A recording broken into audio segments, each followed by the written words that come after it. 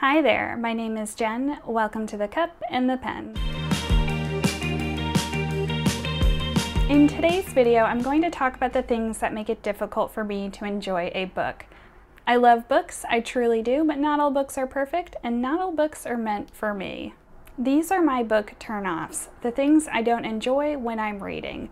But to be clear, it's not a crime to enjoy these things as a reader or to include them in your book as an author. These are just my opinions. So let's get into it.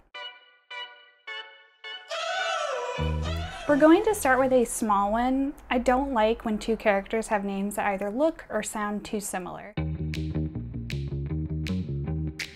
One good example of this is Sauron and Saruman. They're just a little too similar, and unless I'm already incredibly familiar with the material, like The Lord of the Rings in this case, I'm going to have trouble remembering who is who. The next thing I don't like is when a chapter is only one page long. There's something about this that really truly bothers me, and I think it just throws off pacing. When I sit down to read, I want to get lost in the story, and if the scene or chapter I'm reading is too short, there's a chance that I won't be fully hooked by the end of it, and I'll either need to force myself to keep reading and hope that the next scene pulls me in, or I'll put the book down and try again later. I also don't like when there are zero character descriptions.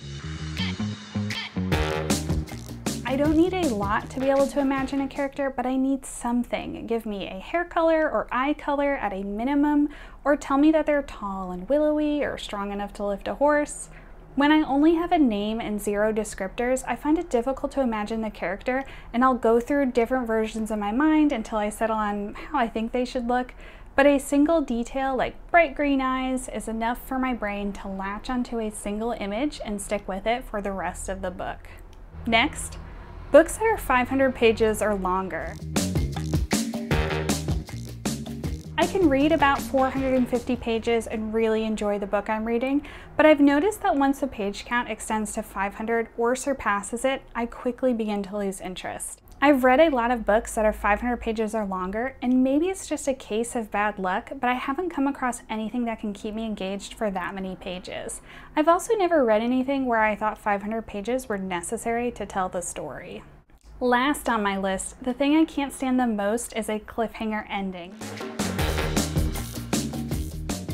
absolutely hate cliffhangers. I've read a few books lately where the first book ends in a cliffhanger to create interest for the second book, and there's nothing that makes me want to read the next book in the series less than a cliffhanger.